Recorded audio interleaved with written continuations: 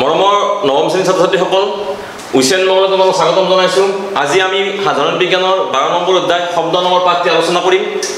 গোটেই কিতাপখনৰ ভিতৰত এইটো আটাইতকৈ সহজ চেপ্টাৰ আৰু ফিজিক্সৰ এইটো শেষ চেপ্টাৰ আমি ইতিমধ্যে ফিজিক্সৰ বাকীকেইটা অধ্যায় আলোচনা কৰিছোঁ।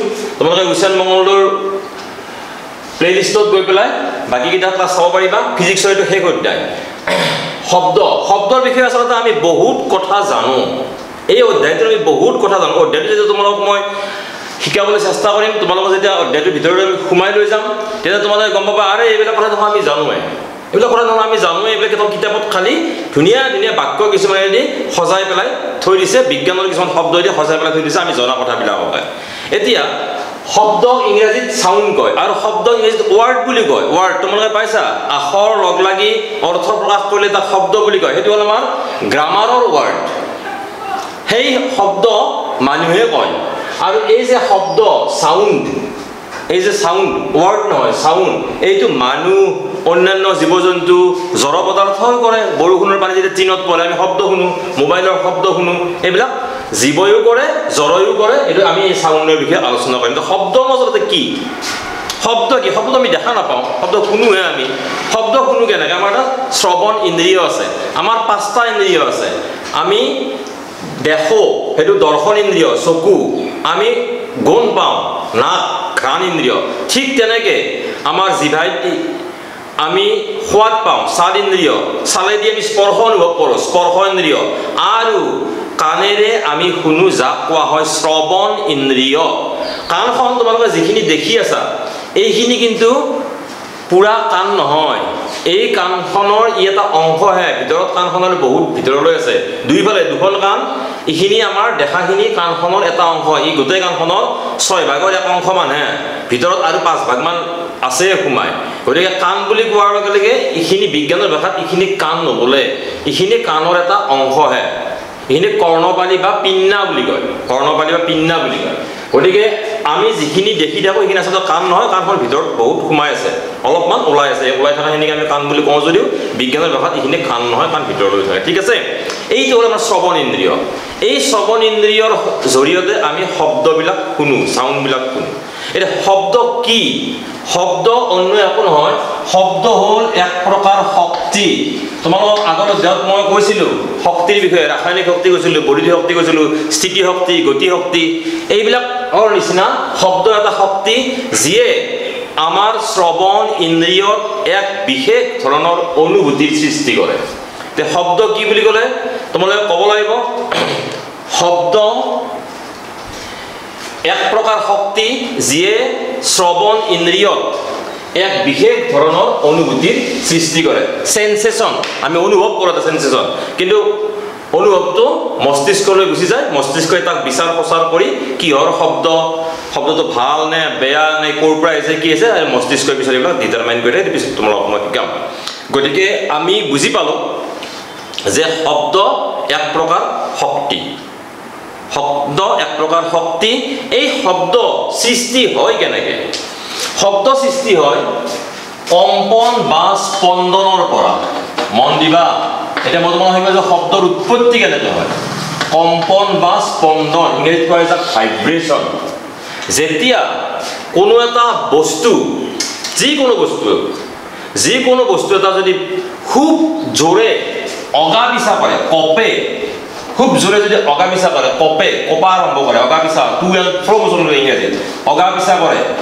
তেতিয়া তাক আমি কম্পন হোৱা বুলি কওঁ আৰু কম্পন হোৱাৰ লগে লগে তাৰ পৰা শব্দ উৎপত্তি হয়।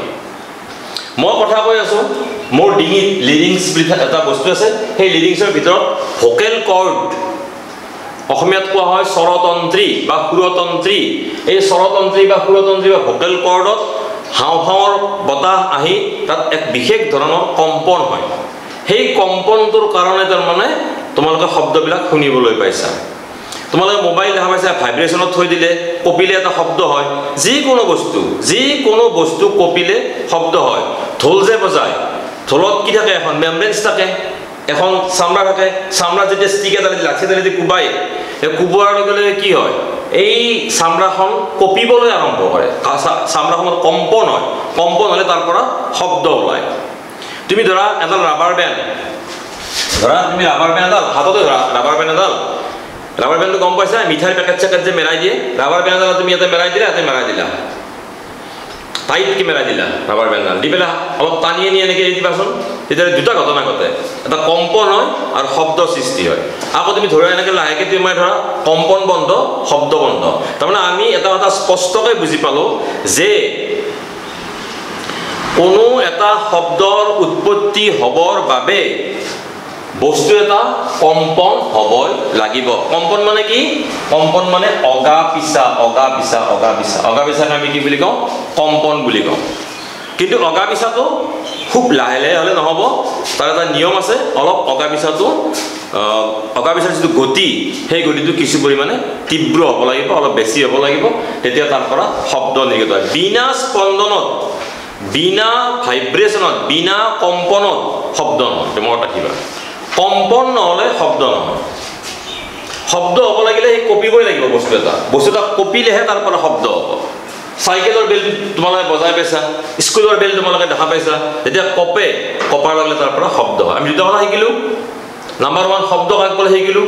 শব্দ এক প্ৰকাৰ শক্তি যিয়ে আমাৰ শ্ৰৱণীয় অনুভূতিৰ সৃষ্টি কৰে। দুই নম্বৰ শব্দৰ উৎপত্তি কেনেকৈ হয়? শব্দৰ উৎপত্তি হয় কোনো এটা বস্তুৰ কম্পনৰ পৰা। কম্পনৰ পৰা শব্দৰ উৎপত্তি হয়। হা? শক্তি কি? তোমাক কৈছিলোঁ শক্তি ৰূপান্তৰ হয়। এটা শক্তিৰ পৰা আন এটা শক্তিলৈ তোমাৰ ৰূপান্তৰ শক্তি সৃষ্টি কৰিবও নোৱাৰি ধ্বংস কৰিব নোৱাৰি। তোমালোকক কৈছিলোঁ মই আগতে শক্তিৰ সংৰক্ষণশীলতা সূত্ৰ। গতিকে মোৰ দেহত স্থিতি শক্তি আছে। এই স্থিতি শক্তিটোৱে শব্দ শক্তি হৈ আছে। তেতিয়াহ'লে আমি এটা কথা স্পষ্টকৈ বুজি পালোঁ যে বিনা স্পন্দনত বিনা কম্পনত উইদাউট ভাইব্ৰেশ্যন শব্দৰ উৎপত্তি হ'ব নোৱাৰে। শব্দৰ উৎপত্তি হ'ব লাগিলে কোনো এটা বস্তু কম্পন হ'বই লাগিব। যিটো বস্তুৱে কপে এই মোবাইলটো ভাইব্ৰেশ্যনত থৈ দিলা সি কপিল ভাইব্ৰেশ্যন মানে কম্পন। ভাইব্ৰেশ্যন মানে অসমীয়াত কম্পন ইংৰাজীত ভাইব্ৰেশ্যন কৰি অসমীয়াত কম্পন। মই কৈছোঁ নহয় তোমালোকক এইটো চেপ্টাৰৰ গোটেইবিলাক কথা তোমালোকে পাই আহিছা। তোমালোকে জানা এইবিলাক কথা খালি মই অকণমান বাক্য দি অলপ বিজ্ঞানৰ বাক্য দি সজাই সজাই ক'বলৈ চেষ্টা কৰিম। এতিয়া এই চেপ্টাৰটোত আমাৰ যে কম্পনত যে শব্দৰ সৃষ্টি হয় হা কম্পন হ'লে যে শব্দৰ সৃষ্টি হয় এই কথাটো বুজাবৰ কাৰণে বিজ্ঞানত এটা টিউনিং ফক সুৰ শলকা বুলি ষ্টীলৰ এডাল এনেকুৱা নাও থকা এডাল মাৰি পায়। নাও থকা মাৰি পায় অলপ দীঘল এনেকুৱা। যেতিয়া ইয়াত এডাল হেণ্ডেল হেণ্ডেলডালত ধৰি পেলাই যদি এই ষ্টিক এইডাল এইডাল যদি হেণ্ডেলডালত ধৰি পেলাই এইডাল যদি এনেকৈ ৱাই এখনৰ নিচিনা হয় হেণ্ডেলডালত ধৰি যদি মই এডাল কিবা গাৰু এটাত বা অলপ পেইড এটাত ৰবৰত বা ক'ৰবাত এনেকৈ কোব মাৰি দিওঁ দিয়াৰ লগে কম্পন হয়। কম্পন হোৱাৰ লগে লগে ইয়াৰ পৰা এটা গুম গুমনি শব্দ এটা হ'ব। তুমি যদি এটা ওলমাই দিয়া টেনিছ এটা শব্দ এটা হ'লতো তুমি এটা ওলমাই থৈ দিয়া এটা টেবুল টেনিছ বল এটাৰ কাষত যদি এডাল লৈ আহা এডাল কপি থাকিব বলটো তাৰমানে আমি বুজি পালোঁ ইয়াৰ পাছত শব্দ ওলাওঁ তাৰমানে কম্পন হোৱাৰ কাৰণে শব্দ ওলাইছে। কম্পন বুলি কেনেকৈ গম পালোঁ? যে এই টেনিছ বলটো কপিবলৈ আৰম্ভ কৰিছে। আৰু এটা সৰু পৰীক্ষা তোমালোকক মই কৈ দিছোঁ চোৱা। এটা ধৰা হ'ল এটা ঘূৰণীয়া টিং যিকোনো আমুল স্প্ৰে বা কিবা ঘূৰণীয়া টিং এটা দুফালে খুলি ল'লা। ইফালে খুলি ল'লা ইফালে খুলি ল'লা ঘূৰণীয়া নহ'লেও কথা নাই চাৰিখনীয়া হ'লেও কোনো কথা নাই খুলি ল'লা লৈ ইফালে এটা ৰবৰৰ ডাঙৰ বেলুন এটা ফুটাই পেলাই ডাঙৰ বেলুন এটা ইয়াত বান্ধি দিলা ধুনীয়াকৈ। ইফালে কপলা হৈ আছে। দুইফালে খুলি লৈ পেলাই ৰাবৰ বেলুন বান্ধি দিলা। ইয়াত সৰু এখন দাপোন থৈ দিলা দাপোন। ইয়াত টৰ্চেদি সৰু টৰ্চ এটাৰ সহায়ত এইটো টৰ্চ। টৰ্চ এটাৰ সহায়ত তাৰমানে সৰু বিন্ধা দি পোহৰটো এটা পৰিবলৈ দিছা। দাপোনখনত পৰিবলৈ দিছা। এইটো হ'ল ৰবৰৰ ৰবৰ বান্ধি দিছোঁ মই। ৰবৰ বান্ধি দিছোঁ এটা মূৰে ৰবৰ বান্ধি দিছোঁ। ইফালে খোলা আছে বেলুন এটা ফুটাই লৈ পেলাই ৰবৰটো বান্ধি দিছোঁ। ৰবৰটো আঠাই দি এখন দাপোন লগাই দিছোঁ। সৰু ফুটা এটা দি সৰু দি পোহৰ দিছোঁ দিয়াৰ লগে লগে ইয়াৰ পৰা এটা দাপোনৰ এটা প্ৰতিবিম্ব এটা সৃষ্টি হ'ব। এখন ধৰা ৱাল এটা এটা প্ৰতিবিম্ব সৃষ্টি হ'ব। এতিয়া ইফালে যদি তুমি জোৰে চিঞৰি দিয়া ইফালে জোৰে চিঞৰি দিয়াৰ লগে লগে চিঞৰি দিয়াৰ লগে লগে মই কৈছোঁ নহয় কম্পন মানে কি? শব্দ শব্দ মানে কি? কম্পন। কম্পন হ'লে শব্দ সৃষ্টি হয়। যেতিয়া এইফালে জোৰে চিঞৰি দিলা দিয়াৰ লগে এই কম্পনটো এনেকৈ গৈ গৈ গৈ গৈ গৈ গৈ এই যে বেলুনৰ ৰব ৰবৰখিনি আছিল তাত গৈ পেলাই আঘাত কৰিব আৰু বেলুনটো কঁপিবলৈ আৰম্ভ কৰিব। এই বেলুনটো কঁপিবলৈ আৰম্ভ কৰাৰ লগে লগে এই যে এটা যে স্পটটো পৰিছিল এই স্পটটো ইফালে যাব একবাৰ ইফালে আহিব একবাৰ ইফালে আহিব একবাৰ ইফালে আহিব। এইখন লচৰ কৰি থাকিব নহয় দাপনখন কাৰণ দাপনখন ক'ত ফিটিং কৰা আছে? বেলুনটোৰ ৰবৰ টুকুৰাত ফিটিং কৰা আছে। গতিকে ইয়ে কি প্ৰমাণ কৰে? ইয়ে প্ৰমাণ কৰে যে তাৰমানে কম্পন কম্পন নহ'লে শব্দ নহয়। মই যে জোৰে চিঞৰি দিলোঁ দিয়াৰ লগে লগে এইবিলাকত কম্পন হ'ল। আৰু চিঞৰিছোঁ কেনেকৈ? মোৰ সুৰতন্ত্ৰীৰ কম্পন হৈছে। সুৰতন্ত্ৰী বা ভোকেল কৰ্ডৰ কম্পন হৈছে। এই ভোকেল কৰ্ডৰ কম্পনৰ পৰা আকৌ নতুন কম্পন হৈছে। হৈ বেলুন টুকুৰা লৰাইছে।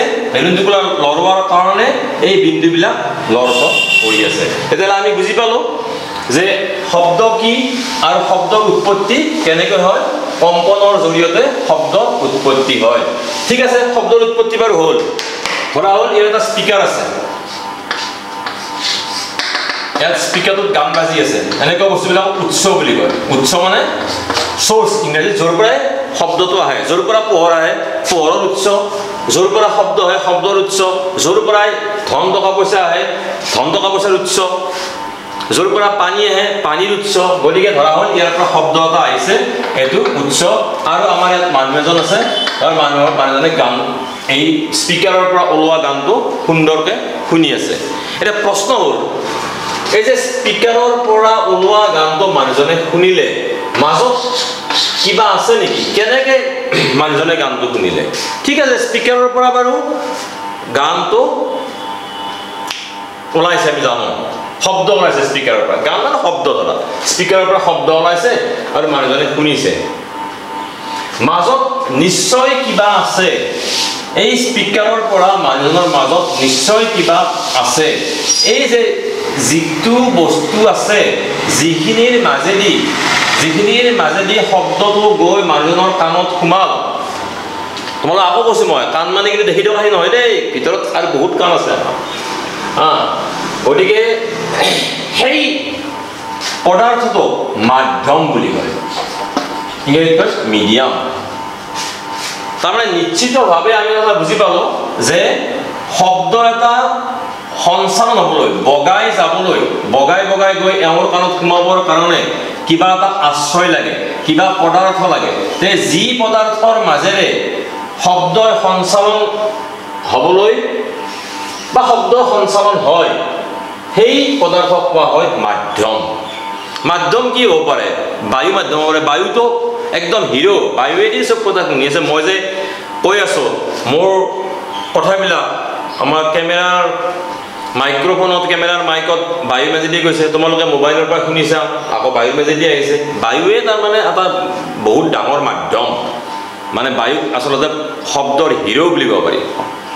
তাৰপিছত কঠিন বস্তুৰ মাজেদি যাব পাৰে শব্দ লোহাৰ মাজেদি যাব পাৰে কাঠৰ মাজেদি যাব পাৰে ৰবৰৰ মাজেদি যাব পাৰে যিকোনো কঠিন বস্তুৰ মাজেদি শব্দ যাব পাৰে জুলীয়া বস্তুৰ মাজেদি যাব পাৰে পানীৰ মাজেদি কেৰাচিনৰ মাজেদি গাখীৰৰ মাজেদি গতিকে শব্দ সঞ্চালন হ'বলৈ শব্দ উৎসৰ পৰা উৎস মানে যিয়ে শব্দ সৃষ্টি কৰে এতিয়া মই উৎস মই শব্দ সৃষ্টি কৰিছোঁ তোমালোকে মোবাইলৰ পৰা শুনি আছা মোবাইল এটা উৎস।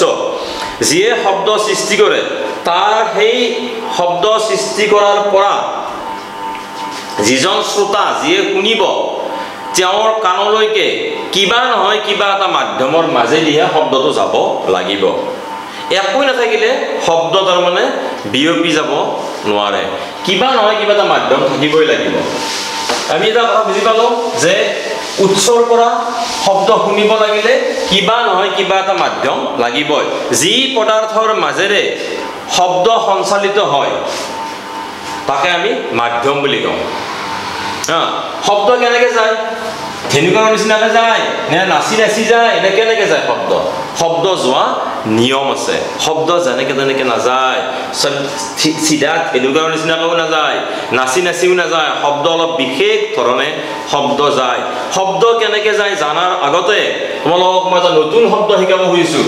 সেইটো হ'ল তৰংগ কোৱা হয় ৱেভ ৱেভ তৰংগৰ বিষয়ে আমি জনাৰ পিছত আমি শব্দৰ বিষয়ে জানিবলৈ আমাৰ সুবিধা হ'ব।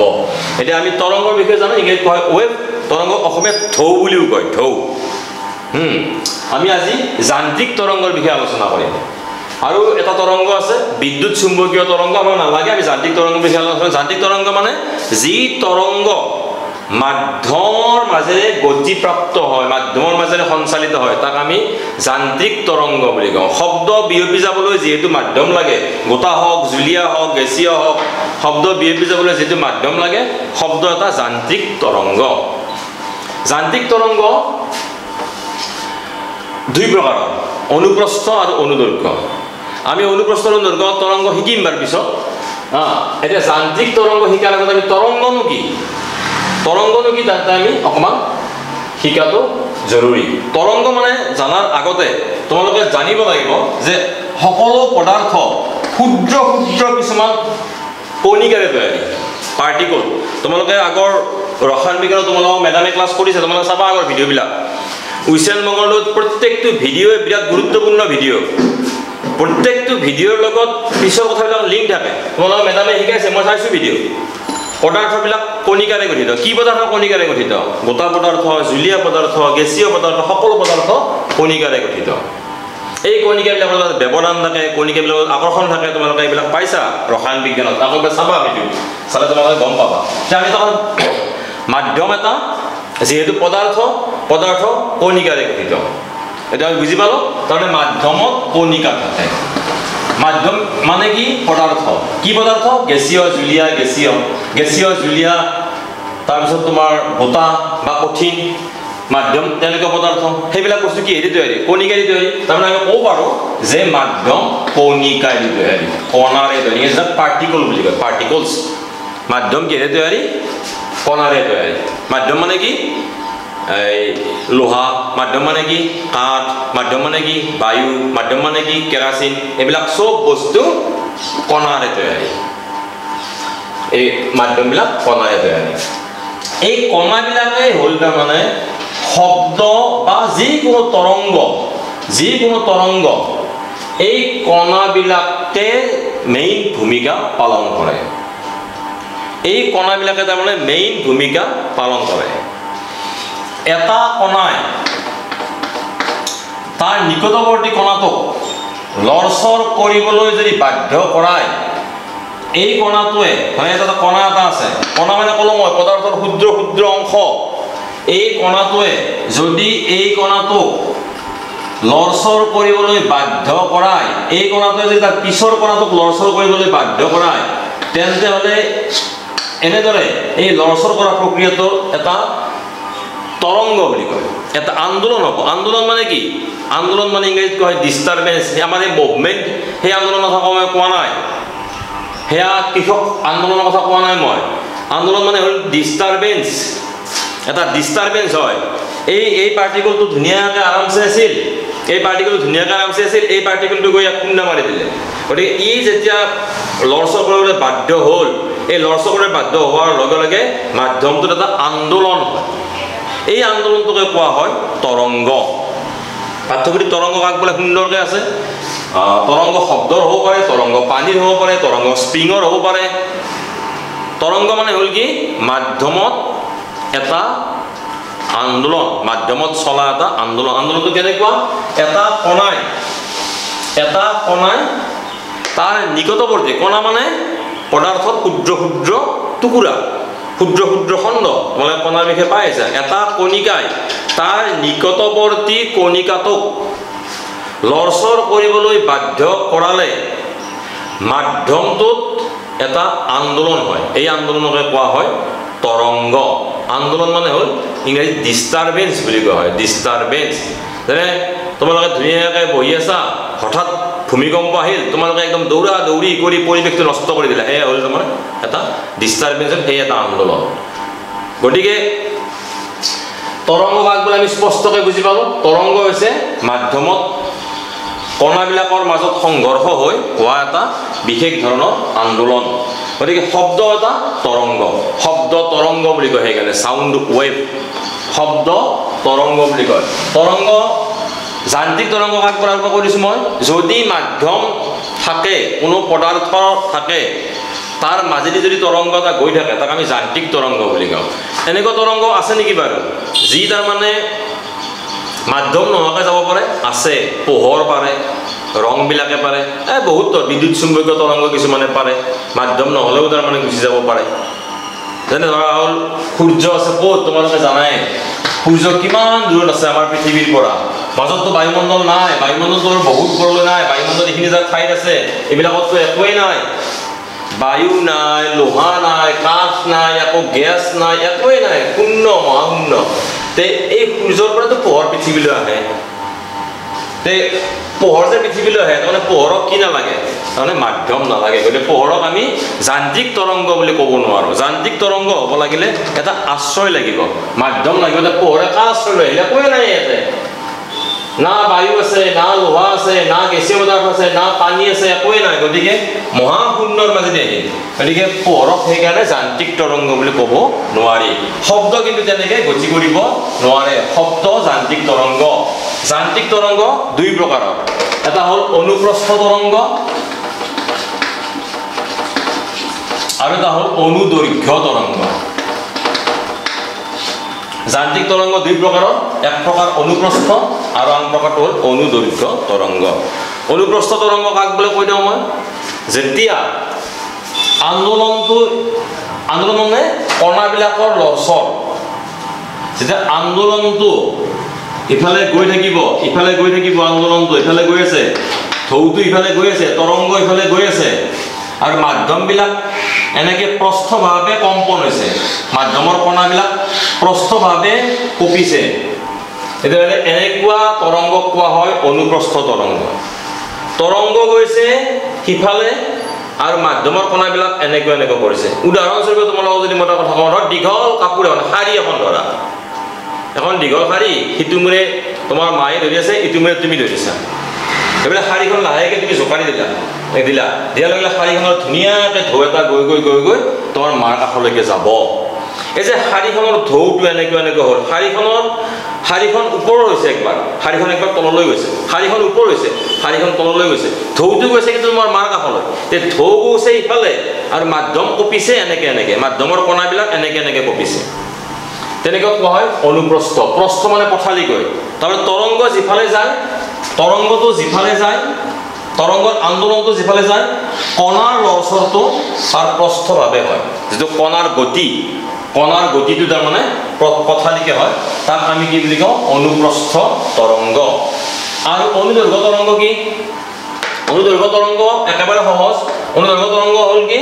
তৰংগটো যিফালে গতি কৰে আন্দোলন যিফালে গতি কৰে কণাবিলাকো তাৰ সমান্তৰালকে গতিশীল হয়। যেনে ধৰা হ'ল ইফালে গৈছে আন্দোলনটো ইফালে গৈছে তৰংগটো ইফালে গৈছে আৰু কণাবিলাকো এনেকে এনেকে এনেকে এনেকে এনেকে এনেকে কণাবিলাকো এনেকে এনেকে দোলন হৈছে। এটাক আমি কি বুলি কওঁ? তেতিয়া তাক আমি অনুদৈৰ্ঘ্য তৰংগ বুলি কওঁ। অনুদৈৰ্ঘ্য তৰংগ মানে এনেকুৱা এনেকুৱা হ'ব লাগিব। যেনে ধৰা হ'ল বহুত মানুহ লাইন পাতি আছে গেছৰ কাৰণে বা কিবা কাৰণে বহুত মানুহ লাইন পাতি আছে। হা একদম শেষত থকাজনে অলপ দুষ্ট প্ৰকৃতিৰ সেই আগৰজনক ঠেলা মাৰি দিলে। ঠেলা মাৰি দিয়াৰ লগে লগে সেই আগৰজনৰ লগত তেওঁলোকৰ সংকোচন হ'ব আকৌ প্ৰসাৰণ হ'ব আকৌ সংকোচন প্ৰসাৰণ সংকোচন প্ৰসাৰণ হৈ হৈ হৈ এই মই এই দুষ্ট ল'ৰাজনে দিয়া তৰংগটো একেবাৰে আগলৈকে যাব। মানুহ তৰংগটো গ'ল একদম সিফালে আৰু মানুহবিলাকো এনেকুৱা এনেকুৱা কৰিছে। গতিকে তৰংগটো গ'ল সিফালে মানুহবিলাকতো এনেকুৱা এনেকুৱা কৰি থকা নাই।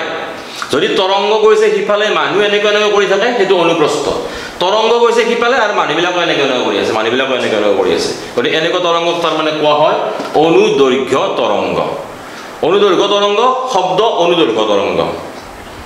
শব্দ অনুদৈৰ্ঘ্য তৰংগ। এতিয়া আমি এটা কথা স্পষ্টকৈ বুজি পালোঁ। যে শব্দ অনুদৈৰ্ঘ্য তৰংগ অনুদৈৰ্ঘ্য তৰংগ মানে শব্দ যিফালে গতি কৰে সিফালে মাধ্যমৰ কম্পন হয়। মই শিকাই দিম কেনেকৈ কম্পন হয় কম মই। এটা কথা আৰু ভালদৰে বুজি পালোঁ আমি যে মাধ্যম নহ'লে শব্দ সঞ্চালন হ'ব নোৱাৰে। কিবা নহয় কিবা এটা মাধ্যম লাগিব। হয় গোটা মাধ্যম লাগিব নহয় জুলীয়া মাধ্যম লাগিব নহয় গেছীয় মাধ্যম লাগিব কিবা নহয় কিবা এটা মাধ্যম লাগিব একোই মাধ্যম নহ'লে শব্দ গতি কৰিব নোৱাৰে। আমি যদি এতিয়া চন্দ্ৰলৈ যাওঁ চন্দ্ৰলৈ গ'লে মই কথা কৈ থাকিম তোমালোকে একো নুশুনা। মোৰ মুখখন খালি এনেকৈ এনেকৈ খোলা বন্ধহে দেখা পাবা। একো নুশুনা। কিয়? এই মোৰ শব্দটো মোৰ কম্পনটো বগাই যাবলৈ বিয়পি যাবলৈ মাধ্যম নাই নহয়। মাধ্যমক আশ্ৰয় লৈহে শব্দ বিয়পি গৈ থাকে কম্পনবিলাক বিয়পি গৈ থাকে। মাধ্যমে যেতিয়া নাই সিজনে কেনেকৈ শুনিব? কাৰণ চন্দ্ৰততো বায়ু নাই তোমালোকে জানা। চন্দ্ৰত বায়ু নাই বায়ু নাই কাৰণে চন্দ্ৰত মানুহে কথা ক'লে নুশুনে। গতিকে শব্দ তৰংগ বিয়পি যাবলৈ কিবা নহয় কিবা এটা মাধ্যম লাগিবই। এইটো পৰীক্ষাত এটা প্ৰশ্ন আহে কিবা নহয় কিবা এটা মাধ্যম। নহ'লে শব্দ বিয়পি যাব নোৱাৰে। পৰীক্ষাত এটা প্ৰশ্ন আহে প্ৰমাণ কৰা যায় বা পৰীক্ষাত এটা দেখুওৱা যে শব্দ সঞ্চালন হ'বলৈ মাধ্যমৰ প্ৰয়োজন। তোমালোকে কেনেকৈ পৰীক্ষাটো কৰিবা? এটা বেলজাৰ ল'ব লাগিব। বেলজাৰ উচ্চাৰণ নকৰিবা দেই বেলজাৰ নহয় বেলজাৰ। বেল। বেল নহয়। তাৰমানে বেল আকৃতিৰ বেল। আমাৰ যে টিলিঙা আছে টিলিঙা আকৃতিৰ এটা জাৰ। এটা বেলজাৰত এটা বেলজাৰত এটা ইলেক্ট্ৰিক বেল বৈদ্যুতিক ঘণ্টা এটা সোমোৱাই বাহিৰৰ পৰা চুইচ অন কৰি চুইচটো দিয়াৰ লগে লগে আমি ঘণ্টাৰ শব্দ শুনিবলৈ পাম। ভিতৰত যিটো বেল আছে কলিং বেল আছে বা বৈদ্যুতিক ঘণ্টা আছে তাৰ শব্দ আমি শুনিবলৈ পাম। কিয় পাম? ইয়াৰ ভিতৰত বায়ু আছে বায়ুৱে আহি খুন্দা মাৰিলে ইয়াৰ পৰা আমাৰ কাণলৈ গুচি আহিল। এতিয়া যদি এটা ভেকুৱাম পাম্পেৰে বায়ু উলিয়াই দিয়া পাম্প আছে যেনেকৈ বায়ু সোমাই দিয়া পাম্প আছে তোমালোকে দেখিছা চাইকেলৰ চকাত যে পাম্প দিয়ে গাড়ীৰ চকাত যে পাম্প দিয়ে সেইবিলাক হ'ল বায়ু সোমাই দিয়া। সেইবিলাক বায়ু সোমাই দিয়া পাম্প আৰু বায়ু উলিয়াই অনা পাম্পো আছে। গতিকে ইয়াৰ ভিতৰৰ পৰা বায়ুখিনি উলিয়াই আনিলোঁ। তাৰপিছত চুইচ অন কৰি ভিতৰৰ ঘণ্টাটো বজালোঁ। বেলজাৰৰ ভিতৰত থকা ঘণ্টাটো বজালোঁ। ঘণ্টাটো বাজিব। ঘণ্টা বাজিব। কাৰেণ্ট আছে ঘণ্টা বাজিব। কিন্তু আমি শব্দ শুনা নাপাওঁ। কাৰণ এই ঘণ্টাৰ শব্দটো সঞ্চালন হ'বলৈ ভিতৰত একো মাধ্যমেই নাই। ইমান সময়ে আছিল বায়ুখিনি তাকো মই পাম্পেদি উলিয়াই লৈ গুচি আহিলোঁ। গতিকে ভিতৰখন বায়ু শূন্য হৈ গ'ল বায়ু ৰুদ্ধ হৈ গ'ল অলপো বায়ু নাই। গতিকে আমি ঘণ্টাৰ শব্দ শুনিবলৈ নাপাওঁ। লাহে লাহে আকৌ যদি বায়ু সোমাবলৈ দিম লাহে লাহে আকৌ আমি ঘণ্টাৰ শব্দ শুনিবলৈ পাম। ইয়ে প্ৰমাণ কৰে যে শব্দ তৰংগ বিয়পি যাবলৈ শব্দ তৰংগ বিয়পি যাবলৈ বা শব্দ তৰংগ সঞ্চালিত হ'বলৈ মাধ্যম লাগে। এই মাধ্যমটো গোটা হওক জুলীয়া হওক গেছীয় হওক কোনো কথা নাই কিন্তু মাধ্যম লাগিবই। ঠিক আছে? আমি গম পালোঁ যে শব্দ তৰংগ বিয়পি যাবলৈ কিবা নহয় কিবা এটা মাধ্যম লাগিবই। মাধ্যম কিহেৰে তৈয়াৰী? কণিকাৰে তৈয়াৰী। এইটো তোমালোকে ৰসায়ন পাই আহিছা এতিয়া এই মাধ্যমৰ মাজেৰে শব্দ সঞ্চালিত হয় কেনেকৈ? সঞ্চালন হৈ বুলি বাৰু গম পালোঁ। কিন্তু সঞ্চালিত হয় কেনেকৈ? সঞ্চালিত হয় কেনেকৈ? আমি এতিয়া এই বিষয়ে আলোচনা কৰিম। এই বিষয়ে আলোচনা কৰাৰ আগে আগে তোমালোক মই আৰু আৰু এবাৰ কৈ দিলোঁ যে মাধ্যমবিলাক কণিকাৰে তৈয়াৰী। কণিকা বা কণা বা পাৰ্টিকুল নহ'লে শব্দ যাব নোৱাৰে। কেনেকৈ পাৰ্টিকুলবিলাক কেনেকৈ কি হয় তোমালোক মই বুজাই দিছোঁ। চাই লওঁ এতিয়া মই তোমালোকক কৈছিলোঁ মোৰ স্থিতিশক্তি আছে। মোৰ স্থিতিশক্তি মোৰ সুৰতন্ত্ৰীত আঘাত কৰিছে সুৰতন্ত্ৰীত কম্পন কৰিছে। সুৰতন্ত্ৰীত কম্পন কৰাৰ পিছত মোৰ মুখৰ পৰা শব্দ শক্তি নিৰ্গত হৈছে। এই মোৰ মুখৰ পৰা ওলোৱা শব্দ শক্তিয়ে ধৰা হ'ল এজন মই এই মোৰ মুখৰ পৰা ওলোৱা যিটো শব্দৰ শক্তি সেই শক্তিটোৱে মোৰ মুখৰ সন্মুখত থকা বায়ুৰ কণিকাবোৰক গতিশীল কৰিব। এটা ধাক্কা মাৰি দিব। দিয়াৰ লগে লগে এই কণিকাবিলাক গতিশীল হ'ব আৰু এই গতিশক্তি পাব। এই গতিশক্তি পোৱাৰ লগে লগে এই কণিকাবিলাক তাৰমানে আকৌ অকণমান আগুৱাই যাব। যাই তাৰ কাষত থকা কণিকাবিলাকক আঘাত কৰিব আঘাত কৰি কিছু শক্তি নষ্ট হ'ব আৰু কিছু গতিশক্তি ইয়ালৈকে প্ৰবাহিত হ'ব ট্ৰেন্সফাৰ হ'ব বা এইকেইটা কণিকাই গতিশক্তি পাব। ই আকৌ আগৰ ঠাইলৈ গুচি আহিব। অলপমান পিছুৱাই আগৰ ঠাইলৈ গুচি আহে। বস্তুটো এনেকুৱা ধৰা হ'ল মোৰ সন্মুখত মানুহ এজন আছে। মন দিবা মোৰ সন্মুখত মানুহ এজন আছে। মোক কোনোবাই ঠেলা মাৰি দিয়াৰ লগে লগে মই মানুহটোক গৈ এনেকৈ খুন্দা মাৰি দিলোঁ। দি মই আগৰ অৱস্থালৈ আহি অলপমান পিছুৱাই আহিব লাগে অলপমান পিছুৱাই যায়। মই কওঁ এইবিলাক সাম্য অৱস্থা কি? এতিয়া এই কণিকাকেইটাই বায়ুৰ কণিকাকেইটাই এই কাষত থকা কণিকাকেইটাক আকৌ এটা খুন্দা মাৰিব আঘাত কৰিব। কৰাৰ লগে লগে ইয়াৰ যিখিনি গতি শক্তি আছিল এই গতি শক্তিখিনি ইয়ালৈ প্ৰবাহিত হ'ব। এনেকে তাৰমানে এই কণিকাবিলাকে ইটোৱে সিটোক ইটো গ্ৰুপে সেইটো গ্ৰুপক সেইটো গ্ৰুপে সেইটো গ্ৰুপক এনেকে খুন্দা মাৰি মাৰি গৈ গৈ গৈ গৈ শেষত গৈ মই কোৱা কথাটো তোমাৰ কাণৰ পৰ্দাত। কাণৰ ভিতৰত এখন পৰ্দা আছে। আমাৰ বাহিৰৰ কাণখনত তোমাৰ কোনো এখন আচল কাণ নহয়। এনেকে এটা পৰ্দা এখন সুৰংগ এটা আছে গহ্বৰ এটা আছে আৰু এতিয়া এখন পৰ্দা থাকে। এই পৰ্দাখনত গৈ পেলাই আঘাত কৰিব। পৰ্দাখনত গৈ গৈ পেলাই খুন্দা মাৰিব আৰম্ভ কৰিব। কিহে? এই গতি শক্তিবিলাকে তাৰপিছত পৰ্দাখনৰ ভিতৰত আকৌ কিছুমান হাড় আছে। সেই হাড়বিলাকে খবৰটো কাণৰ ভিতৰলৈ পঠিয়াই দিয়ে। কাণৰ ভিতৰত তাৰমানে অন্তঃকৰ্ণ বুলি কয়। অন্তঃকৰ্ণ সেইটো মস্তিষ্কলৈ পঠিয়াই দিয়ে। মস্তিষ্কই সেইটো চালি জাৰি চাই ক'ব যে এইটো চাইকেলৰ বেলৰ শব্দ এইটো স্কুলৰ বেলৰ শব্দ এইটো মনোজ কাশ্যপৰ শব্দ এইটো অমুকৰ শব্দ এনেধৰণৰ কথা। পিছৰখিনি পিছৰ কথা কওঁ। এতিয়া এই যে শব্দ সঞ্চালন হ'ল শব্দ সঞ্চালন হ'বলৈ একেবাৰে আটাইতকৈ ইম্পৰ্টেণ্ট কথা হ'ল মাধ্যম লাগিব। তোমালোকে কথাটো বুজিবৰ কাৰণে তোমালোক এটা উদাহৰণৰ সহায়ত বুজাবলৈ মই চেষ্টা কৰোঁ। ধৰা হ'ল এনেকুৱা এডাল কাপোৰ মেলি দিয়া তাঁৰ আছে। তোমালোকৰ স্কুলৰ বেলটোৰ নিচিনাকৈ এনেকৈ মই পঞ্চাছটা বেল ওলমাই থৈ দিছোঁ। পঞ্চাছটা বেল ওলমাই দিছোঁ। দিছোঁ আৰু কেইটামান বেল পঞ্চাছটা বেল ওলমাই দিছোঁ তাৰ দ্বাৰা। এতিয়া স্কুলৰ চকীদাৰ আহি এই বেলটোত কোব এটা মাৰি দিলে। এইটো হ'ল শব্দ শক্তি বুলি ধৰি লোৱা। কোব এটা মাৰি দিলে। এই প্ৰত্যেকটো বেলকে একোটা একোটা বায়ুৰ কণিকা বুলি ভাবি লোৱাচোন। তেতিয়া তই তৎক্ষণাত বুজি পাবা। তেতিয়া কি হ'ব? এই বেলটোত যে কোবটো মাৰি দিলে দিয়াৰ লগে লগে বেলটো বৰ্তমান এই ইয়াতে আছিল। এইটো অৱস্থাত কোৱা হয় সাম্য অৱস্থা। ইংৰাজীত কয় ইকুইলিব্ৰিয়াম মনত ৰাখিবা। সাম্য অৱস্থা। বৰ্তমান সাম্য অৱস্থাত আছে। কোবোৱা নাই দেই কোবোৱা নাই। বেলটো বৰ্তমান সাম্য অৱস্থাত আছে। তোমালোকৰ চকীদাৰজন আহি পেলাই এই যে চকীদাৰজন আছে চাপৰকে চকীদাৰজন তেওঁ আহি কোব এটা মাৰি দিলে।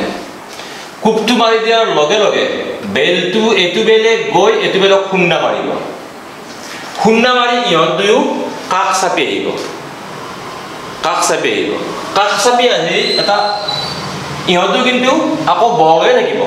ইহঁতো পাতল থাকিব ইহঁতো কাষ চাপি আহিব তাৰপিছত এই বেলটো ইয়ে যে খুন্দা মাৰি দিলে এই বেলটো কথা কৈছোঁ এইটো বেল অহাৰ পিছত কম খুন্দা মাৰি দি এই বেলটো ইয়ালৈকে নাহে ইয়াৰ পৰা আকৌ অলপমান পিছুৱাই আহিব সাম্য অৱস্থাৰ পৰা আৰু অলপমান পিছুৱাই আহিব এই বেলটোৱে কৰিব কি ইয়াক খুন্দা মাৰিব খুন্দা মাৰি ইয়ালৈকে নাহে খুন্দা মাৰি এইখিনি ঠাইৰ মাজেদি অলপমান পিছুৱাই আহিব তেতিয়া ইহঁতৰ মাজত অলপমান ফাগ হ'ব ইহঁতৰ মাজত আকৌ ঘন হ'ব আকৌ এই বেলটোৱে গৈ এই বেলটো খুন্দা মাৰিব ইহঁতো ঘন হ'ব ইহঁতো পাতল হ'ব এই বেলটো গৈ এই বেলটো খুন্দা মাৰিব ইহঁতো ঘন হ'ব ইহঁতো পাতল হ'ব এনেকৈ তাৰমানে দুটা অঞ্চল সৃষ্টি হ'ব এটা অঞ্চল ঘন এটা অঞ্চল পাতল তুমি যদি বেল বুলি নাভাবি বেল বুলি নাভাবি যদি বায়ুৰ কণিকা বুলি ভাবা তে বায়ুৰ কণিকাবিলাক একবাৰ সংকোচন হ'ব একদম যাই ধাক্কা মাৰি দিব। কেনেকুৱা? এইটো বায়ু কণিকাবিলাক ধৰা এইটো শব্দৰ শক্তি মোৰ মুখৰ পৰা ওলাইছে। ই গৈ এই কোণত মাৰি দিলে। ই গৈ আকৌ এইটোক মাৰি দিব। এনেকৈ তাৰমানে একবাৰ সংকোচন হয় একবাৰ প্ৰসাৰণ হয় একবাৰ সংকোচন একবাৰ প্ৰসাৰণ হৈ পেলাই শব্দৰ পৰা যিটো শক্তি এই শক্তিটো ক্ৰমান্বয়ে প্ৰবাহিত হৈ হৈ হৈ হৈ মানুহজনৰ কাণত সোমাবগৈ। কাণত কি হ'ব? পিছত আলোচনা কৰিম। মানুহজনৰ কাণত শব্দটো সোমাবগৈ। এই উৎসৰ পৰা শব্দটো যাওঁতে তাৰমানে বায়ুৰ কণিকাবিলাক একবাৰ ঘন হয় একবাৰ পাতল হয় একবাৰ ঘন হয় একবাৰ পাতল হয় এনেকৈ কণিকাবিলাক কিন্তু গুচি নাযায়। কণিকাবিলাক গুচি নাযায় কণিকাবিলাক এনেকৈ দুলি থাকিব এনেকৈ দুলি থাকিব এনেকৈ দুলি থাকিব। এইটো সাম্য অৱস্থাটো। গতিকে মই গৈ এনেকৈ খুন্দা মাৰিলোঁ। মাৰি মই ইয়ালৈকে নহওঁ এনেকৈ খুন্দা মাৰিলোঁ খুন্দা মাৰি মই আকৌ পিছুৱাই আহিলোঁ। আকৌ এনেকৈ খুন্দা মাৰিলোঁ আকৌ এনেকৈ পিছুৱাই আহিলোঁ। গতিকে এই এনেকৈ দুলি থাকিব কণিকাবিলাক। কণিকাবিলাকৰ কম্পন হৈ থাকিব। কণিকাবিলাক এনে দুলি থাকিব আৰু ইটো কণিকা সিটো কণিকা খুন্দা মাৰিব সিটোৱে সিটো খুন্দা মাৰিব সিটোৱে সিটো খুন্দা মাৰিব। এনেকৈ গৈ গৈ গৈ গৈ শেষত গৈ কাণৰ কাষত থকা বায়ু বায়ু কণিকাবিলাকত খুন্দা লাগিব আৰু সেইবিলাক গৈ পেলাই কাণৰ ভিতৰৰ পৰ্দাত খুন্দা মাৰিবলৈ আৰম্ভ কৰিব। দুটা খুন্দাৰ মাজত গেপটো পইণ্ট ওৱান ছেকেণ্ড হ'ব লাগে। তোমালোকক পিছত কম মই ডিটেইলছ কম চিন্তা কৰিব নালাগে। তাৰমানে প্ৰত্যেকটো কণিকা এই যে শব্দটোৰ শক্তি প্ৰত্যেকটো কণিকাই গতিশীল প্ৰাপ্ত হয়। এনেওতো বায়ু কণিকাবিলাক গতি কৰিয়ে থাকে কিন্তু মোৰ যিটো মুখৰ পৰা ওলোৱা শক্তি বেলটো কোবাই দিয়া যিটো শক্তি এই শক্তিবিলাকৰ পৰা তাৰমানে বায়ুৰ গতিটো বাঢ়ে গতি শক্তিটো বাঢ়ে। বায়ু গতি কৰিয়ে থাকে। বায়ুৰ কণিকাবিলাক গতি কৰি থাকে। কিন্তু তেতিয়া গতিশীলতাটো বাঢ়ি যায়। বায়ুৰ কণিকাবিলাক গতিশীল হৈ যায়। এই কণিকাখিনিয়ে মোৰ মুখৰ সন্মুখত থকা কণিকাখিনিয়ে তাৰ যিটো গতিশক্তি কাষৰখিনিক দি দিয়ে। কাষৰখিনিৰ গতিশক্তিটো তাৰ কাষৰখিনিক দি দিয়ে। অলপ গতিশক্তি নষ্ট হয়। গতিকে এনেকৈ গৈ গৈ গৈ একবাৰ তাৰমানে ঘন হয় একবাৰ পাতল হয় আকৌ কণিকাবিলাক একবাৰ ঘন হয় আকৌ পাতল হয় এনেকৈ কণিকাবিলাক ঘন পাতল ঘন পাতল হৈ হৈ হৈ দুটা অঞ্চল সৃষ্টি কৰি এটা শৃংখল এটা শাৰীৰ সৃষ্টি কৰে। ঘন পাতল ঘন পাতল ঘনক ইংৰাজীত কোৱা হয় কম্প্ৰেশ্যন আৰু পাতলক কোৱা হয় rarefaction C R C R C R অসমীয়াত কোৱা হয় এইটো সংকোচন বা ঘনীভৱন। এইটো কোৱা হয় প্ৰসাৰণ বা তনুভৱন। এইটো কোৱা হয় ঘন হৈ গ'ল সেইকাৰণে সংকোচন হৈ গ'ল। সেইকাৰণে সংকোচন বুলি কয় কিছুমানে ঘনীভৱন বুলি কয় ইংৰাজীত কয় কম্প্ৰেশ্যন এইখিনি পাতল হৈ গ'ল। সেইকাৰণে বহুতে এইটো কোৱা হয় তনুভৱন বুলি কয় আৰু বহুতে প্ৰসাৰণ বুলিও কয়। তে সংকোচন প্ৰসাৰণ সংকোচন প্ৰসাৰণ সংকোচন প্ৰসাৰণ হৈ পেলাই যি মোৰ শব্দৰ যিটো শক্তি সেই শক্তিটো গৈ গৈ গৈ গৈ মানে বায়ুৰ কণিকাবিলাক গুচি নাযায়। বায়ুৰ কণিকাবিলাক এনেকৈ লৰি থাকিব তাতে তাতে লৰি থাকিব আগুৱাই নাযায় এনেকৈ লৰি থাকিব। বায়ুৰ কণিকাবিলাক তাতে এনেকৈ এনেকৈ অহা যোৱা কৰি থাকিব বায়ুৰ কণিকাবিলাক নাযায়। শক্তিবিলাক ইটোৱে সিটোক দিব সিটোৱে সিটোক দিব সিটোৱে সিটোক দিব। শক্তিবোৰ পৰা আহিল শব্দ এটা শক্তি বাৰে বাৰে কৈ আছোঁ মই শব্দ শক্তি শব্দ শক্তি শব্দ শক্তি। সেই শব্দ শক্তিটো গৈ গৈ গৈ গৈ এই কাণত সোমাব। কাণত সোমালে মাজত শব্দটো শুনা পাব গতিকে শব্দ তৰংগ বিয়পি যাবৰ বাবে মাধ্যমৰ দৰকাৰ। মাধ্যমত কি থাকে কণিকা থাকে এতিয়া প্ৰশ্ন হ'ল গোটা বস্তুত শব্দ কেনেকৈ যায়? গোটাত আৰু ভাল। কাৰণ গেছীয়া বস্তুত কণিকাবিলাক পাতল পাতলকৈ থাকে। গেছীয়া বস্তুত কণিকাবিলাক পাতল পাতলকৈ থাকে। গোটা বস্তুত কণিকাবিলাক একদম গাতে গাতে লাগি থাকে গায়ে গায়ে লাগি থাকে। আৰু জুলীয়াত অলপ ডিফাৰেঞ্চটো বেছি আৰু গেছীয়ত চবতকৈ ডিফাৰেঞ্চটো বেছি। গতিকে যেতিয়া শব্দ শক্তি এটা ইয়াত খুন্দা মাৰিব খুন্দা মাৰাৰ লগে লগে ইয়াততো অলপমান টাইম অলপমান সময় লাগিব না অলপ যাওঁতে। ইয়াততো লগে লগে ই গতিশক্তিটো ইয়াত দি দিয়ে। ইয়াত লগে লগে ইয়াত গতিশক্তিটো দি দিয়ে। ইয়াতো অলপমান সময় লাগে ইয়াত চবতকৈ বেছি সময় লাগে। কাৰণ ইয়াত কণিকাবিলাক অলপ ফাক ফাক থাকে আৰু ফাক ফাক থাকে। গতিকে ইটো কণিকা সিটো কণিকাক গতিশক্তি দিওঁতে অলপমান সময় লাগে। এতিয়া তেতিয়াহ'লে আমি তিনিটা মাধ্যমৰ কথা পালোঁ। কঠিন তৰল আৰু গেছীয় এই কঠিন তৰল আৰু গেছীয় মাধ্যমৰ ভিতৰত কঠিন মাধ্যমত শব্দ খুব ক্ষিপ্ৰতাৰে যাব পাৰে। কিয় যাব পাৰে তোমাক বুজাই দিলোঁ ধৰা এইটো কঠিন মাধ্যম লোহা লোহাৰ কণিকাবিলাক একদম গাত গাই লাগি থাকে গাত গাই লাগি থাকে গতিকে ইয়াত যদি তুমি এটা শব্দ সৃষ্টি কৰা শব্দৰ শক্তিটোৱে ইয়াৰ যিটো শক্তি ইয়াক প্ৰদান কৰিব এই গতি ই পাব এইটো যদি ই পাব খুব যিহেতু একদম লাগি থাকে তৎক্ষণাত গৈ পেলাই ইফালে পাই যায়। এতিয়া জুলীয়াত অলপমান টাইম লাগে গেছীয়ত বায়ুত আটাইতকৈ বেছি সময় লাগে। ধৰা এইখন এখন দীঘল ডেস্ক ইয়াত এখন দীঘল ডেস্ক ইয়াতে তোমাৰ বন্ধু এজনে ইয়াতে তোমাৰ বন্ধু এজনে পাণ এখন দি আছে। ইয়াত তুমি আছা। হা আৰু ইয়াত মই আছোঁ। এতিয়া তোমাৰ পৰা মোলৈ ওচৰ। তোমাৰ পৰা বন্ধুলৈ বহুত দূৰ তুমি ইয়াত টক টকাই দিলা। টক টকাই দিয়াৰ লগে লগে এই টক টক শব্দটো তোমাৰ বন্ধুজনে ডাঙৰকৈ শুনিব মোতকৈ। কাৰণ তোমাৰ বন্ধুজনলৈকে শব্দটো গ'ল ডেস্কখনৰ কাঠৰ কণিকাবিলাকৰ মাজেদি ডেস্কখন গোটা পদাৰ্থ বা কঠিন পদাৰ্থ। আৰু মোলৈ আহিল বায়ু মাধ্যমৰ মাজেদি বায়ু হ'ল তাৰমানে গেছীয় পদাৰ্থ যাৰ অণুবিলাক অণুবিলাকৰ তাৰমানে ব্যৱধানটো কণিকাবিলাকৰ ব্যৱধানটো কণাবিলাকৰ ব্যৱধানটো বেছি। শব্দটো ময়ো শুনা পাম ইও শুনা পাব। কিন্তু এওঁ অলপ আগতে আৰু ডাঙৰকৈ শুনা পাব। মই অলপমান দেৰিকৈ শুনিম আৰু অকণমান দেৰিকৈ শুনিম মই। আৰু মই শুনোতে তাৰমানে অলপমান কমকৈ শুনিম। কাৰণটো হ'ল মোলৈ আহিব বায়ু মাধ্যমৰ মাজেদি। কঠিন মাধ্যমৰ মাজেদি শব্দটো অলপ বেছি স্পীডত যাব পাৰি কিয় যাব পাৰি? কঠিন মাধ্যমত কণিকাবিলাক লাগি থাকে। লাগি থকাৰ কাৰণে শক্তিটো মানে ট্ৰেন্সফাৰ কৰিবলৈ শক্তিটো প্ৰবাহিত কৰিবলৈ সুবিধা হয়। তৎক্ষণাত শক্তিটো দি দিব পাৰে। কিন্তু গেছীয় মাধ্যমত অলপ দূৰত থাকে না এনেকৈ গৈ টক্কৰ দিয়ালৈকে টাইম লাগে। গোটা মাধ্যমতো পালেই নহয়। গোটা মাধ্যমত তৎ তৎক্ষণাত তৎক্ষণাত ওচৰতে থাকে। এতিয়া গতিকে শব্দৰ বেগ আটাইতকৈ ক'ত বেছি? কঠিন মাধ্যমত। তাতকৈ অলপ কম ক'ত? জুলীয়া মাধ্যমত পানী কেৰাচিন গাখীৰ। তাতকৈ আৰু অলপ কম ক'ত? বায়ু মাধ্যমত। যদি এই তিনিটাৰ এটাও নাথাকে তেতিয়াহ'লে শব্দ গতি কৰিব নোৱাৰে। এতিয়া শব্দ যিকোনো মাধ্যমত গোটা জুলীয়া গেছীয় যিকোনো মাধ্যমত যেতিয়া শব্দ যায় তেতিয়া শব্দ যাওঁতে দুটা অৱস্থাৰ সৃষ্টি হয়। দুটা অঞ্চলৰ সৃষ্টি হয় ঘনীভৱন আৰু তনুভৱন বা সংকোচন আৰু প্ৰসাৰণ। প্ৰথমতে সংকোচন হয় তাৰপৰা প্ৰসাৰণ আকৌ সংকোচন আকৌ প্ৰসাৰণ। সংকোচন মানে কি? এই কণাবিলাক কণাবিলাক ওচৰ চাপি যায়। ওচৰ চাপি যোৱাৰ লগে লগে ঘনত্বটো বাঢ়ি যায়। বাদ হৈ যায় না। ঘনত্ব কেনেকৈ উলিয়ায়? ভৰ হৰণ আয়তন? গতিকে আয়তনটো যেতিয়া কমি যায় আয়তন যেতিয়া কমি যায় ঘনত্ব বাঢ়ি যায় যেতিয়া বস্তুটো কমি গ'ল। এনেকৈ যেতিয়া ওচৰ চাপি আহিল ওচৰ চাপি হ'লে বেছি ঘন হৈ গ'ল। আয়তনটো কমি গ'ল আয়তনটো কমি যোৱাৰ লগে ঘনত্বটো বাঢ়ি যায়। ঘনত্ব বাঢ়ি যোৱাৰ লগে লগে তাৰ চাপো বাঢ়ি যায়। ঘনত্ব বাঢ়ি যোৱাৰ লগে লগে তাৰ চাপটো বাঢ়ি যায় তাৰমানে। তাৰ যিটো হেঁচা সেই হেঁচাটো তাৰমানে বাঢ়ি যায়। গতিকে শব্দৰ সঞ্চালন মানে আমি ইচ্ছা কৰিলে আকৌ কৈছোঁ ইয়াত চাপটো বাঢ়ি গ'ল। এই যে আকৌ তনু ভৱনটো ক'ব ৰৈ গ'ল নহয় এই তনু ভৱনত আকৌ ঘনত্বটো অলপ কম। ইয়াতে চাপটো অলপ কম।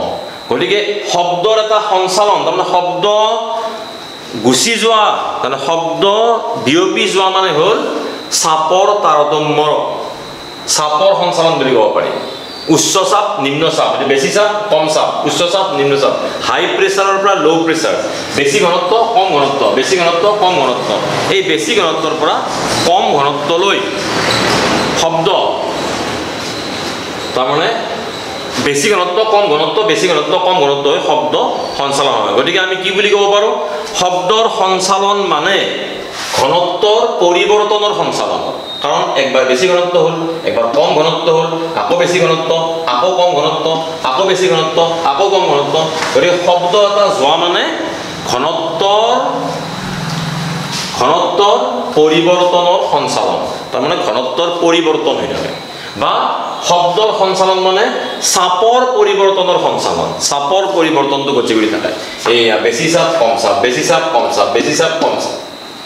এতিয়া প্ৰশ্ন যে শব্দ আমি যে অনুদৈৰ্ঘ্য তৰংগ বুলি ক'লোঁ কিয় এতিয়া বুজাই লওঁ তৰংগ দুই প্ৰকাৰ পাইছিলোঁ শব্দ তৰংগ অনু যান্ত্ৰিক তৰংগ বুলি কয় ই অনুদৈৰ্ঘ্য তৰংগ আৰু এটা যান্ত্ৰিক তৰংগ পাইছিলোঁ আমি অনুপ্ৰস্থ তৰংগ মই যে কৈছিলোঁ তোমাক মাৰ লগত দীঘল শাৰী এখন তুমি এনেকৈ জোকাৰি দিছা। শাৰীখন এনেকৈ ঢৌ খেলিছে ঢৌ খেলিছে ঢৌ খেলিছে। ঢৌটো গৈছে মাৰ কাষৰ ফালে। শাৰীৰ কণিকাবিলাকে এনেকৈ এনেকৈ কঁপিছে। পথালিকে কঁপিলে ঢৌ গ'ল এনেকৈ। আৰু পথালিকে কঁপিলে এনেকৈ কঁপিলে শাৰীখন ঢৌ গৈছে এনেকৈ। গতিকে এইটোক আমি কওঁ অনুপ্ৰস্থ আৰু এতিয়া শব্দৰ তৰংগটো কয় অনুদৈৰ্ঘ্য। কি অনুদৈৰ্ঘ্য বুলি কয়? ধৰা এইটো এটা স্পীকাৰ শব্দৰ উৎস। ইয়াৰ পৰা শব্দ ওলাব। শব্দৰ শক্তিটোৱে ইয়াৰে কাষত থকা একদম স্পীকাৰটোৰ কাষত থকা যিবিলাক বায়ুৰ কণা আছে সেই বায়ুৰ কণাবিলাকক আঘাত কৰিব। শব্দৰ শক্তিটোৱে। গতিকে ইয়াৰ পৰা ই গতি শক্তি পাব। এই কণিকাবিলাকে আকৌ এই কণিকাবিলাকক আঘাত কৰিব। এনেকে আন্দোলনটো যিটো তৰংগৰ গতিৰ দিশ সেইটো এনেকে তৰংগ শব্দটো এনেকে গৈ থাকিব আৰু শব্দটো এনেকে গৈ থাকিব তৰংগটো এনেকে গৈ থাকিব আৰু মাধ্যমৰ কণিকাবিলাকো তাৰ সমান্তৰালকে এনেকে এনেকে দুলি থাকিব এনেকে এনেকে দুলি থাকিব। শব্দও গ'ল সিফালে মাধ্যমৰ কণিকাবিলাকো এনেকে এনেকে দুলি থাকিব গতিকে শব্দ তৰংগক সেইকাৰণে অনুদৈৰ্ঘ্য তৰংগ বুলি কোৱা হয়। অনুদৈৰ্ঘ্য তৰংগ হ'ল তৰংগৰ গতিৰ দিশত মাধ্যমৰ কণিকাবিলাকৰ সমান্তৰালভাৱে যদি কম্পন হয় বা গতিশীল হয় সমান্তৰালভাৱে যদি মাধ্যমৰ কণিকাবিলাক গতিশীল হয় তাক অনুদৈৰ্ঘ্য তৰংগ বোলে। যিহেতু শব্দ তৰংগত শব্দ তৰংগৰ গতিৰ দিশত মাধ্যমৰ কণিকাবিলাক সমান্তৰালভাৱে গতিশীল হয় বা সমান্তৰালভাৱে কম্পন হয় সেইকাৰণে শব্দ তৰংগ অনুদৈৰ্ঘ্য তৰংগ বুলি কোৱা হয়। শব্দ তৰংগৰ সঞ্চালন মানে কি? চাপৰ পৰিৱৰ্তনৰ সঞ্চালন। চাপটো একবাৰ বেছি হয় একবাৰ কম হয়। যিখিনি জেগাত বায়ুবিলাকৰ কণিকাবিলাক বা যিকোনো পদাৰ্থৰ কণিকাবিলাক এনেকৈ লগ লাগে সেইখিনি জেগাত চাপটো অলপ বেছি হয়। আকৌ লগ নলগাখিনি চাপটো কম হয়। এনেকৈ তাৰমানে একবাৰ ঘনী ভৱন একবাৰ তনু ভৱন ঘনী ভৱন তনু ভৱনৰ এটা শৃংখল সৃষ্টি কৰি মানুহৰ বা অন্য জীৱ জন্তুৰ হ'লেও তাৰ কাণত গৈ আঘাত কৰে। শব্দ আটাইতকৈ বেছি স্পীডত যাব পাৰে তোমাৰ কঠিন পদাৰ্থ। তাতকৈ অলপ লাহে লাহে যায়। জুলীয়া পদাৰ্থত পানী কেৰাচিন গাখীৰ। তাতকৈ লাহে লাহে যায় বায়ুত এতিয়া যদি এটাও নাথাকে তেতিয়াহ'লে শব্দ বিয়পি যাব নোৱাৰে। শব্দ কেনেকৈ সঞ্চালন হয়? শব্দই কণিকাবিলাকৰ মাজত দুটা অঞ্চল সৃষ্টি কৰে। এটা অঞ্চলক আমি ঘনী ভৱন বুলি কওঁ এটা অঞ্চলক আমি তনু ভৱন বুলি কওঁ। যিটো অঞ্চলত কণিকাবিলাক ওচৰা ওচৰি কৰি থাকে সেইটো ঘনী ভৱন আৰু যিটো অঞ্চলত কণিকাবিলাক অলপ দূৰে দূৰে থাকে সেইটোক আমি তনু ভৱন বুলি কওঁ।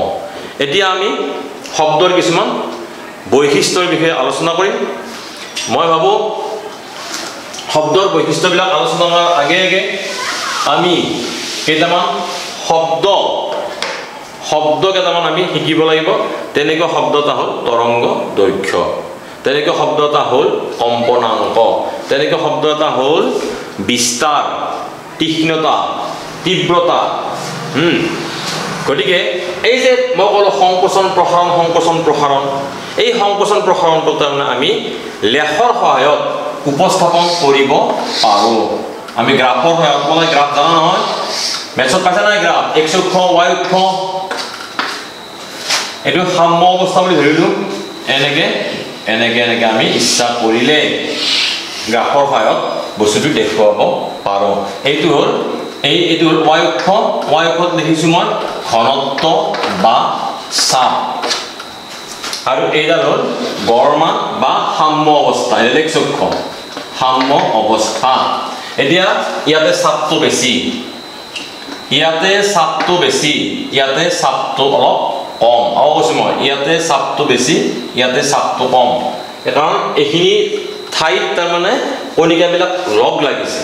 লগ লগাৰ কাৰণে ইয়াত চাপটো বেছি। মানে এনেকৈ আঁকে আৰু তাৰমানে বস্তুটো। কিয় আঁকে? তাৰো যুক্তি আছে তোমালোকে জানিব নালাগে। তাৰমানে আমি তৰংগ শব্দ তৰংগ এনেকৈ আঁকিব পাৰোঁ। এইটো কোৱা হয় শীৰ্ষ। এইখিনি হ'ল চাপ। মই যে কৈছিলোঁ চাপ চাপ চাপ ক'ত বেছি হয়? য'ত কণিকাবিলাক ওচৰ চাপি যায় তাতে চাপটো বেছি হয়। আৰু য'ত কণিকাবিলাক অলপ আহল বহলকৈ থাকে তাত চাপটো কি হয়? কম হয়। যেনে মই মানুহজনক এনেকৈ লাগি গ'ল মানুহজনৰ লগত। এই চাপটো বেছি হ'ল তেওঁৰ লগত লাগি গ'লো নহয় মই গুচি আহিলোঁ এনেকৈ। গতিকে চাপ আকৌ দূৰত্বটো বাঢ়ি গ'ল। একবাৰ আকৌ তেওঁৱে আৰু তেওঁৰ মাজত ঘনী হ'ব। নহ'ব এনেকৈ তাৰমানে ঢৌটো গৈ গৈ গৈ থাকিব গৈ থাকিব। এই যে পালো এইটো যে পালো এইটো যে পালো এইবিলাক যে পালো এইবিলাক কোৱা হয় এইবিলাক কোৱা হয় শীৰ্ষ। এইবিলাক আচলতে ইয়াত চাপটো বেছি। চাপ বেছি মানে ঘনত্ব বেছি মানে চাপ বেছি চাপ বেছি মানে ঘনত্ব বেছি তাৰমানে এইখিনিতে সংকোচন সংকোচন হৈছে। কি সংকোচন হৈছে? মাধ্যমৰ কণিকাবিলাক। মাধ্যমৰ কণিকা মানে মানে কি? বায়ুৰ কণিকা লোহাৰ কণিকা যিকোনো মাধ্যম যিটো মাধ্যমৰ মাজেদি যায় ইয়াত সংকোচন হৈছে। এই ইয়াৰ পৰা ইয়ালৈ এই দূৰত্বখিনিক কোৱা হয় তৰংগ দৈৰ্ঘ্য।